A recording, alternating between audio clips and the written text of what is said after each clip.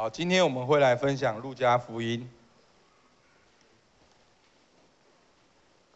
好，我相信大家最近在读路加福音的时候，有一个段落，大家会觉得很好奇，好像不太了解它的意思。好，我常常跟一些弟兄姐妹导读，那他们导读的时候非常火热，导读完我那时候你知道意思吗？啊，讲出来好像大家意思不太一样。好，那我们来我们来看一下。好，今天我要分享经历耶和华的喜年。好，好有点应景。我们这个礼拜就要过年了，对不对？那在旧约里面呢，也有讲到喜年。好，喜年的概念是什么呢？旧约呢，好那个讲到喜年，就是七七四十九年的的下一年，就是第五十年，要有一个释放，债务要取消，奴隶要自由，田产要归回。我们看一下。好，我们来。我们来看这个第八节，好，利未记二十五章，好，第八，好，我们把这个念一下，好不好？预备，起。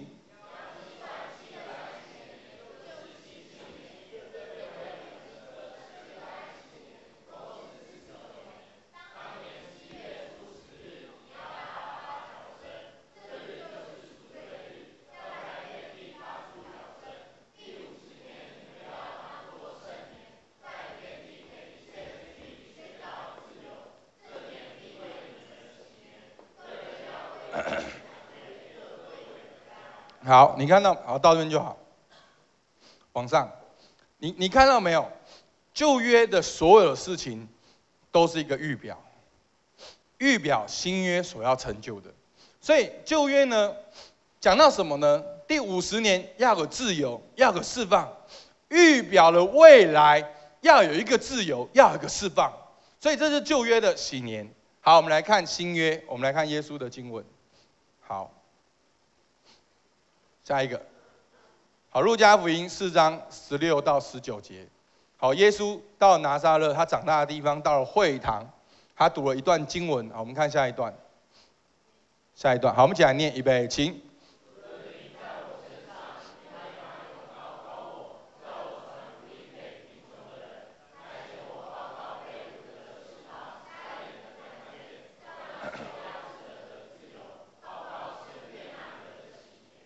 所以弟兄姐妹，当耶稣出来服侍的那一年，说喜年真的临到了，好不好？跟你排说，喜年真的临到了。好，喜年真的临到了。旧约是预表第五十年要做这些事情，而这些事情预表着神要带来释放和自由。各位弟兄姐妹，现在这个社会里面充满了那么多不公不义的事情。所以在旧约里面，人期待七七四十九年第五十年的时候，连奴隶都要得到自由，土地要归还，债务要取消，这是旧约的等候。而到了新约，耶稣来的时候，他说什么？报告神悦纳人的喜年。所以耶稣来了，就带下耶华喜年。但是我们来看到今天的路加福音的经文，我们要如何的经历？耶和华的喜年，但是一个很重要的一个观念，好不好？跟你旁边说，喜年已经到了，喜年已经到了，喜年已经到了。好，我们来看到我们的周报，好，两段比较长的经文，好，我们我们一起来读，好，路加福音七章十七到二十三节，我们一起来读，预备，请。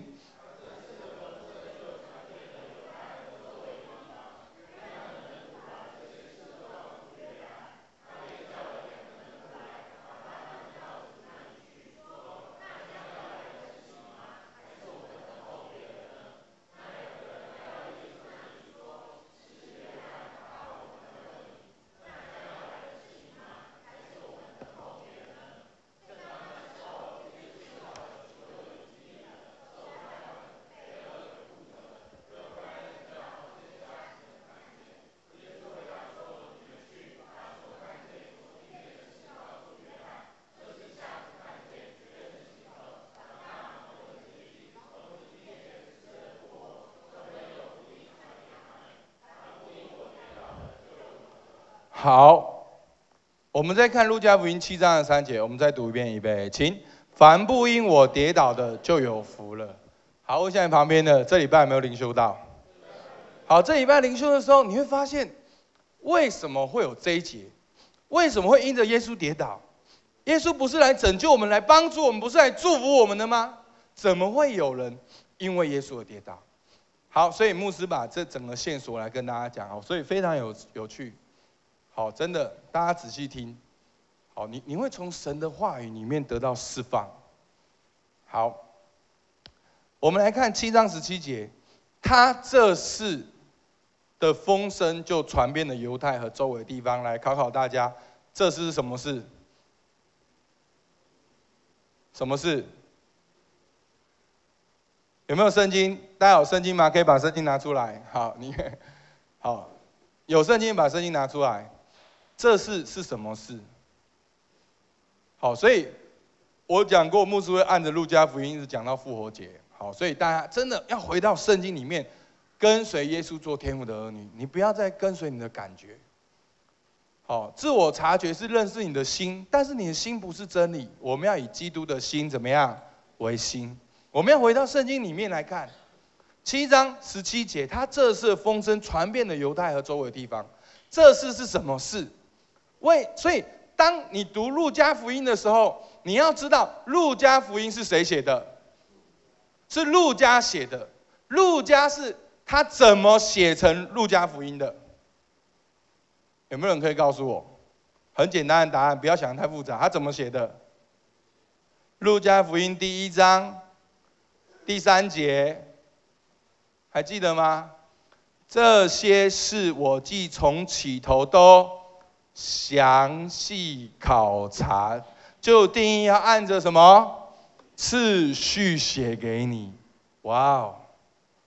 路加在写路加福音的时候，并不是随便写成路加福音的，所以很多时候我们在读圣经的时候，我们把圣经看得太神圣，神圣到一个地步，我们把圣经当成是一种算命的书、京剧的书，变成是你抖圣经，然后圣经会有两节跳出来，空空空，你今年会祝福哦，哎呦，今年会行大运哦，不，弟兄姐妹。圣经说要尽心、尽性、尽意、尽力爱主你的神，所以代表我们的思想和情感跟意志都能够全能的来经历神。阿门，好不好？跟你们来说，你可以很聪明的。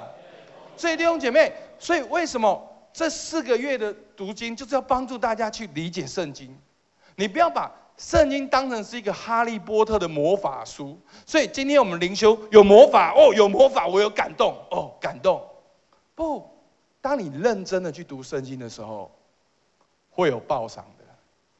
当你认真读圣经的时候，你会看懂神的那个奥秘解开来了，愚顽人就得到智慧，你就看到你的人生，看到你的生命，看到永恒，看见价值，你会更知道如何在现在做出正确的决定。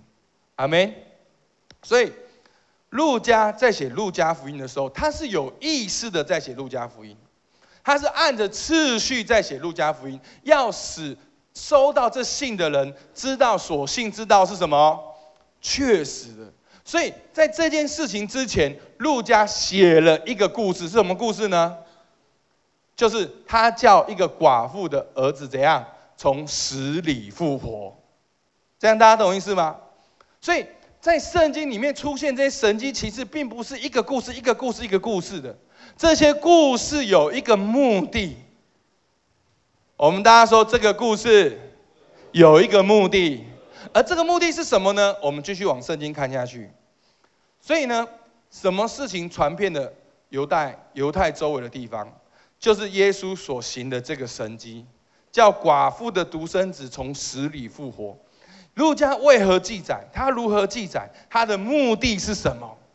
他就是要让人认识耶稣是谁。那为什么他在这个段落里面前面特别记载耶稣叫死人复活呢？来，所以牧师在讲圣经的时候，你们可以很仔细的去查考圣经，去看牧师讲的对不对？哎，有没有道理？因为所有的答案都在圣经里面。如果凹得太凶，请大家跟我讲，好不好？你们看一看，听完毕，你们就会知道说，哇，为什么？好，所以呢，这个这个段落发生什么事情？我们来看一下七章十八节。所以呢，发生这些事情，风声传遍犹太和周围地方。好，七章十八节，约翰的门徒把这些事都怎样告诉约翰，他便叫两个门徒来打发他们怎样到耶稣那里去，说什么？那将来将要来的是你吗？还是我们等候的是别人？好，那两个人来到耶稣那里，就说：施洗约翰打发我来问你，那怎样？将要来的是你吗？还是我们等候的别人？所以牧师故意在排版上面我做了一个平行啊，其实原文里面也是这样，大家有没有看到没有？两段一模一样的话，来我们看那那将要来的什么？是你吗？还是我们等候别人？后面那个那两个重复讲一遍，来我们再念一遍一遍，来那将要来的是你吗？还是我们等候别人？所以弟兄姐妹，你你看到没有？这个线索慢慢浮出来了。施洗约翰他发生了一些事情。施洗约翰有没有帮耶稣施洗？当施洗约翰帮耶稣施洗的时候，圣灵仿佛鸽子降落下来嘛，说这是我爱着，我所喜悦的嘛，对不对？然后施洗约翰说：“看了神的羔羊，背负世人罪孽的嘛。”有没有这件事情？有。施洗约翰知道他是神的儿子，可他现在下到监狱里面了，他开始有一些的疑问了：是你吗？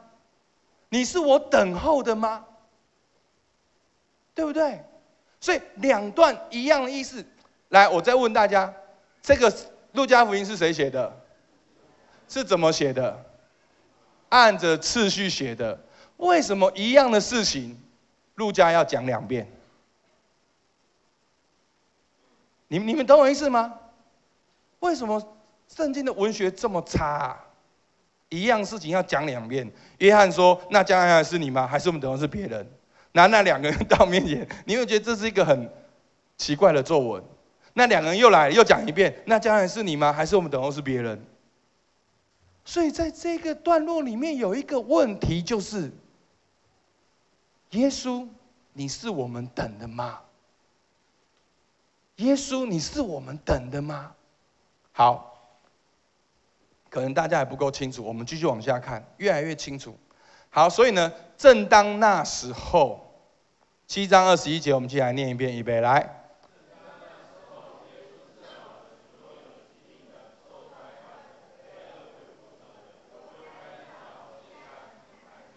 请问这个是谁写的？路加写的。路加写了这个。后来耶稣又说了什么？耶稣七章二十二节，耶稣回答说：“你们去吧。”把所看见、所听见的告诉约翰。来，我们再念一遍，就是预备，请。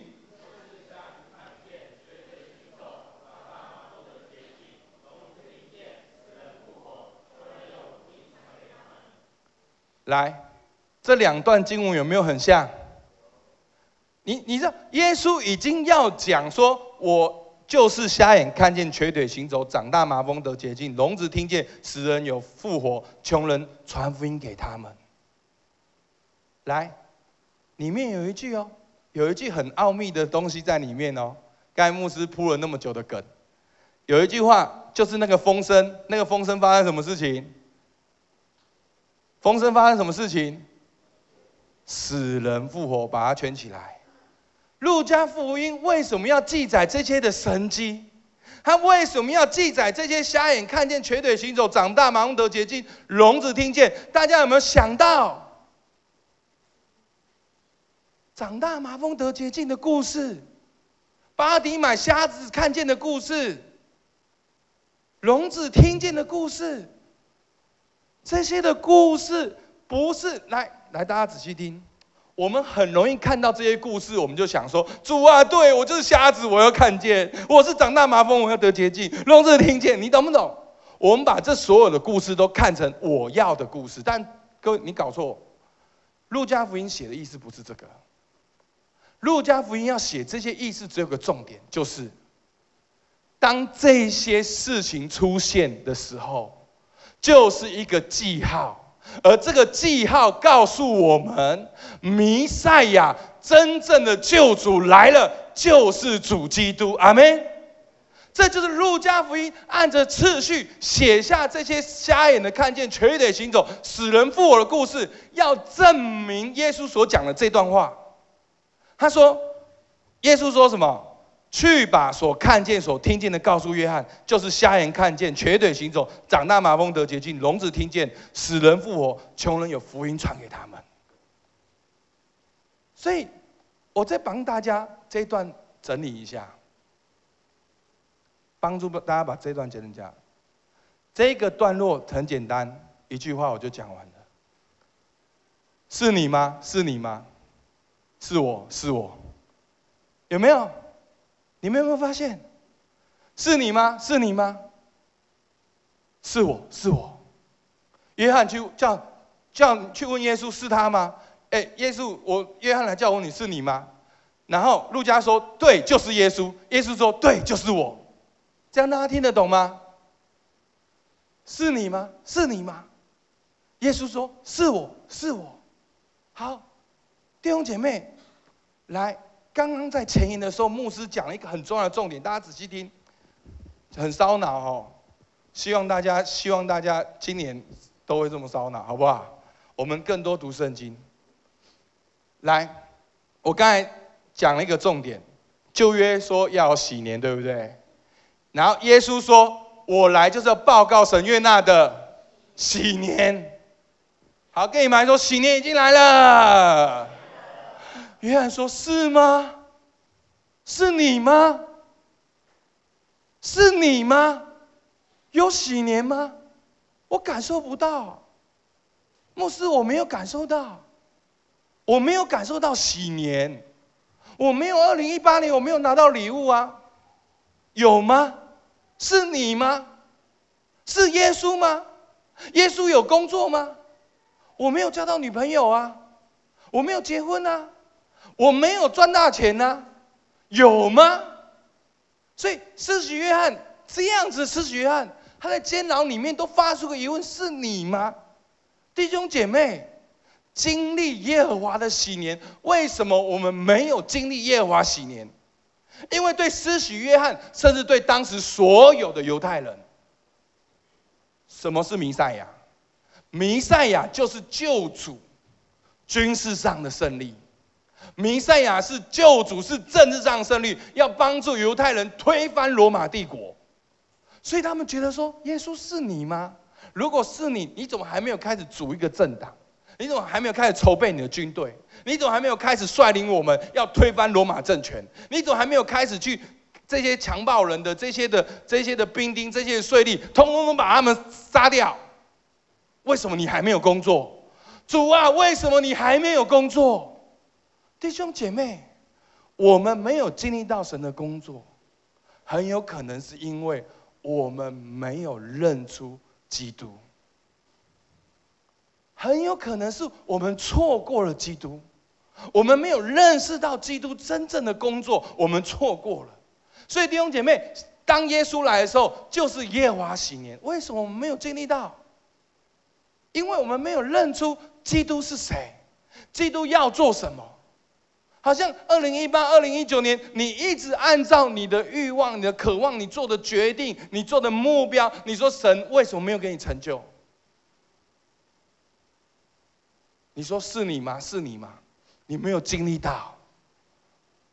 但弟兄姐，我讲过，这些的神迹，你去看约约翰福音，这些记下来，要叫你们知道耶稣是神的儿子。这些神迹就是一个记号，要告诉我们，耶稣基督就是弥赛亚。阿门。所以为什么来七章的三节，我们再读读一遍好不好？预备，请。凡不因我跌倒的，就有福了。为什么有的人会因为耶稣而跌倒？因为耶稣长得不像他要的样子。因为耶稣的出现不太像我心中期待的基督教。我期待基督教就是能够拯救我，脱离单身、脱乳，找到好工作、好老婆，是就是帮助我，你懂我意思吗？不，弟兄姐妹，凡不因我跌倒的，就有福了。这不是耶稣来的主要的目标，为了你今年的需要，你今年的目标，请问你每一年你的目标会不会变？你每一年你的渴望会不会变？你知道，神要救的不是你的渴望、你的目标、你的梦想，神要救的，耶稣要救的，是按照天父的旨意。最重要、最重要、最重要的，来，大家大家说三遍，最重要，预备，请。最重要、最重要、最重要的事情，就是我们常常最忽略、最忽略、最忽略的。各位弟兄姐妹，大家仔细听，就是一个父子的关系。我们透过自觉跟教练，人有一个倾向，你知道生物、生物、植物都有一个倾向，都是向光，对不对？它都会向着向光性。会向着阳光，但是人有一个倾向，就是背着光。人有的倾向就是对父亲、对权柄，而到最后对上帝，我们要我们的方式，我们要我们的自由，我们要按照我的方式。真的，各位弟兄姐妹，所以去年你可能很辛苦，你很挣扎。但是弟兄姐妹，牧师直接讲一个结论：耶稣所有的服饰都是从跟天父的关系流露出来。阿门。你记住这个结论就好。好，但是我还是要给大家一个很棒的定义：神要救的不是神要救的是你跟神的关系，与神和好。耶稣基督来最重要的工作，就是在人的地位上，以无罪无罪的身份，按天父的旨意献上身体为祭。代替你刑罚，使我们与神和好，这是弥赛亚最重要的工作，就是跟天父和好。哈利亚！但是弟兄姐妹，新的一年你的计划是什么？新的一年你有没有把你跟天父的计划放进去？你看到耶稣他侍奉之前，他在旷野怎样经历试探？你知道那三个试探其只有一个试探，就是远离天父的试探。那三个试探总结一个试探就是远离天赋，不要不要敬拜天赋，敬拜撒旦，不要承认自己是神的儿子，一直不断去证明，一直不断去试探神。不弟兄姐妹，耶稣胜过这个试探，耶稣开始服侍，蛮有能力。耶稣服侍的很忙，耶稣上山祷告。耶稣服侍很忙，耶稣上山祷告拣选门徒。耶稣服侍很忙，耶稣继续的祷告。耶稣要背十字架，耶稣继续的祷告。所以你看到路加福音。耶稣的每一个工作，每一个服饰，都是跟天赋连接，跟天赋连接，跟天赋连接，跟天赋连接。当他跟天赋连接的时候，他的工作、生命、家庭自然显露出那个光彩。所以弟兄姐妹，牧师三个试探，我只讲一个试探。所有的试探，所有的挑战，来，大家仔细听。当你要回应那个挑战的时候，你就输了。我还记得吗？当你要去面对这个问题的时候，你就输了。你要去证明，你要去努力，你要去说不，你就是神的儿女。阿门。所以弟兄姐妹，耶和华喜年已经来了。认明耶稣是基督，认出这个恩典的主，真的。刚才牧师有讲那个见证，我最近都跟六十岁到七十岁的人在一起。然后包括教练，好，我也教练一些不叫年长的企业家。我我我我跟我要跟他分享，没有一个人会担心我们现在所担心的。所有六七十岁、六七十岁的人，他们的担心跟渴望，都是跟小孩的关系。大部分都是跟小孩的关系。所以你现在你要你要神今年哦成就你的工作成就目标，那明年后年难不能改变改变？其实到人最后，你渴望的是跟你小孩的关系。但弟兄姐妹，让我们现在就看重我们跟天父的关系，阿妹，那就是耶稣所带来最重要的礼物，阿妹吗？阿妹吗？你知道，我我讲一个故事。很其实很很感人啊，但是我可没有办法讲很完整，因为那整个是一个连续剧。好，其实有一个企业家，他很年轻的时候，另外一半就过世，所以以至于他从中南部到台北来打拼。然后工作非常辛苦，买一批货再卖一批货，每一天都是嘎来嘎去。然后呢，非常辛苦的在台北市买了一栋房子，非常好的地段。为了省钱，到市场去捡人家的菜尾，然后煮给小孩子吃。然后是单亲家庭，一边工作一边抚养小孩，然后非常努力得到上司的赏识，从小员工到职员到经理，到分公司的老板，到最后甚至成为总经理。那故事就到这边，我以为他就是哦，成为总经理之后他就生病还怎么样？但他的确是生病的，后来退休之后工身体就比较好。他说他是很硬的人，他努力一辈子就是不要让小孩吃苦，证明他可以。可是当他人生最巅峰，所有都达到的时候，他的小孩。在三十几岁，得了一种很奇怪的癌症，过世。这个故事我不是看书哦，就在我旁边分享这个故事。讲完病那一整桌的人，没有人讲第二句话。那说那为什么要来参加这个营会？你知道他心里面觉得一个呐喊就是。我那么辛苦，那么努力，就是要把小孩抚养长大，让他们快乐长大，让他们有一片天。但是当长大的时候，他们三十出头就过世了。他心里面那个无奈，那个呐喊。然后他说，他现在活下去的动力，其实已经快要七十岁了。他活下去的动力，就是他答应他的小孩，要照顾他五岁的儿子。他活着活下去，健康，要抚养他的孙子长大。真的弟弟兄姐妹，弟弟兄姐妹，真的，我我我我听真的，我我那时候真的，我写下一段话，原来都是为了爱。我们其实也不是为了健康，我们是为了爱，为了爱家人，跟家人能够好好的在一起。所以。这个故事可能跟我的兴趣不是完全的关联，但是大家抓到个重点就是，其实你现在所计划的这些东西，可能不不是你真正需要的。让我们从现在，我们真的过年有十天的时间，大家先停下来。你很努力，很努力，很努力，到最后呢？你到最后呢？你很努力到最后呢？还是让我们现在走一个最好的路？就是跟天父同行，认出基督是就是基督。你你要是听牧师讲到，你真的听得懂，你再回去看路加福音，你从死人复活那一段再看这段，你就通了。为什么这样记载？因为路加福音就是要告诉大家说，耶稣就是基督，救恩的核心跟天父和好的关系，你可以与天父同行，那是最重要的。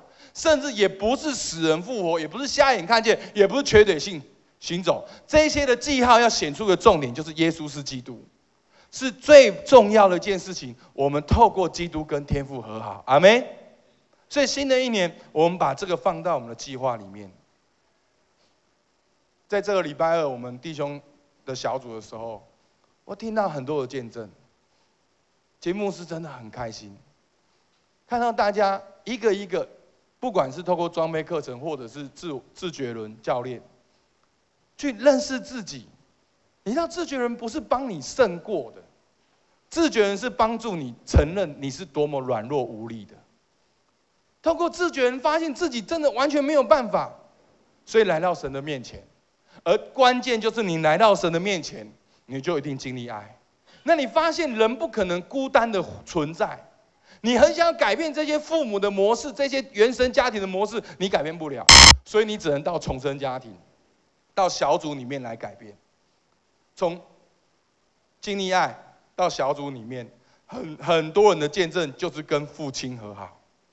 我绕了一圈，每一个人都是跟父亲和好，然后跟父亲和好之后，很奇妙，就工作就会突破。跟你牌说，跟父母和好，工作就会突破，感情就会幸福，很。很棒啊！你不要今天一直要去和好，你不要今天一直要和好，你要先回到天父面前，跟着天父一起去。你不要天父在这边说啊，对，就是要和好，我又离开天父，又跑去和好。要跟天父在一起，跟着天父去慢慢的和好，去慢慢的和好。所以真的最大的礼物、最好的事物，就是与天父同行。所以耶稣所有的服饰都是建立在我与天父的关系，认出基督，才能够活在一个恩典的时刻。我们要活在恩典的时刻，好不好？我最后很快的，好，第二段也是跟第一段一样的精彩，但是没有时间，好，没有办法在三十分钟，牧师在八分钟一定会结束，我们就看一段就好。我们来看，我们来看那个七章二六到。七章二八到二九，哎，七章二八好，二八节就好。我们一起来读二十八节，预备，起。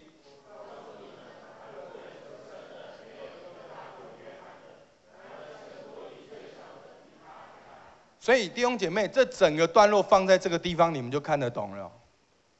为什么凡不因我跌倒的，就有祸福了？后面为什么会讲到？谁大谁小？这这两个是连在一起的，然后包括死人复活这一个段落是连在一起的。好，为什么说约翰是最大的呢？凭什么约翰最大？以赛亚不是更大吗？但以理不是更大吗？以西结不是更大吗？施洗约翰有写施洗约翰书吗？没有。为什么施洗约翰最大？因为施洗约翰为主预备道路。弟兄姐妹。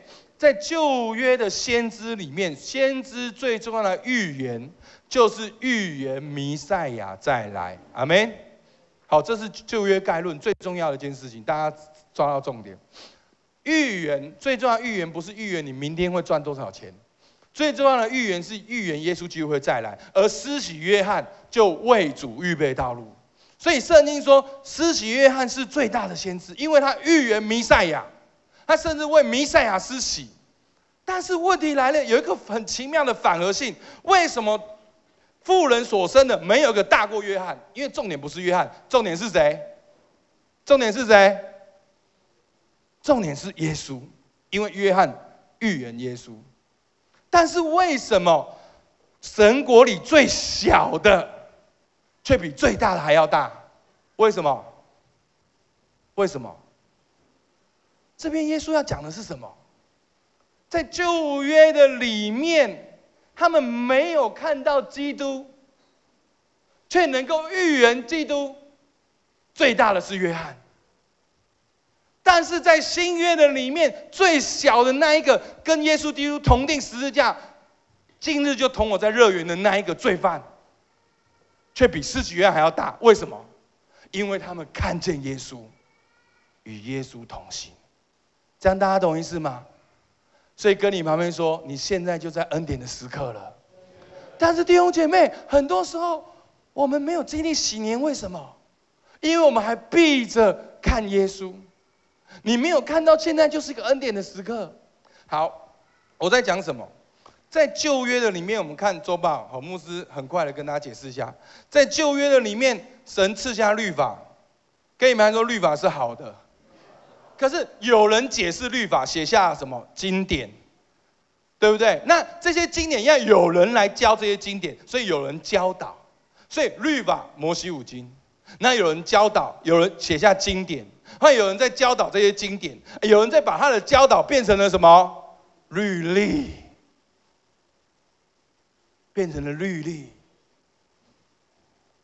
那这变成什么？变成你应该怎么做才是对的？所以弟兄姐妹，这就是旧约，这就是旧约。你透过这个东西，用遵守什么来看你跟神的关系、行为跟表现？弟兄姐妹，请仔细仔细听听牧师讲。很多时候，我是我们活在完美主义跟表现的里面。真的，弟兄姐妹，真的自觉牧师可以告诉你，我们很多人。活在那个不存在的房间里面，你活在那个应该怎么做？但是我给我不不能一竿打翻一船的人，但是很多都是原生家庭。我们活在你应该怎么做，所以甚至你信主人到了教会，你又觉得你应该怎么做？然后后来你发现就两种，一种觉得应该怎么做的做的很殷勤，另外一个觉得应该怎么做的觉得自己没做就跑走。不，弟兄姐妹根本没有那个应该怎么做，律法、经典、教导、律律，除了律法以外都不是神的话语。阿门。那所以这是施许约翰看耶稣，但是那个神国最小的，他就直接怎么样，透过律法来看到基督。阿门。先律法，基督经历救恩，然后活在恩典里面。阿门。这是不一样的，所以是先生命后生活，好不好？跟你们来说，你活在恩典的时代了。有人说，好，这这不是圣经的话语，但有人这样讲，我帮助大家理解。有人说，聪明是对事物的认知，而智慧是如何运用你的聪明，对不对？这一般人的观念其实也是非常有道理的。所以呢？那圣经说的智慧是什么智慧？敬畏耶和华就是智慧的开端。所以我们来看七章的三十五节，我们起来读，预备，请智慧之子都以智慧为师。所以弟兄姐妹，不是活在旧约里面，你觉得应该做什么，而是到了新约里面，敬畏耶和华是智慧的开端。你敬畏耶和华，你会抓到的重点不是你应该做一二三四五六七八九十，而是你知道天父的心是什么。阿门。你知道天父的心是什么？你先触摸到天父的心的时候，你所做的是超过这一些的。请告诉我这一段落后面发生什么事情？你们周报都看不到。要看圣经，所以为什么一定要看圣经？来，有没有人告诉我，耶稣讲完这个事情后面发生什么事情？来，耶稣讲完这个这个概念之后，不不与基督跌倒，智慧之子总以智慧为事。其实整个就是基督论、救恩论。后面发生什么事情？后面发生什么事情？所以弟兄姐妹，圣经宝不宝贵？什么叫做救恩？让我们来看看一个经历耶和华喜年的妇女。我们站立起来好不好？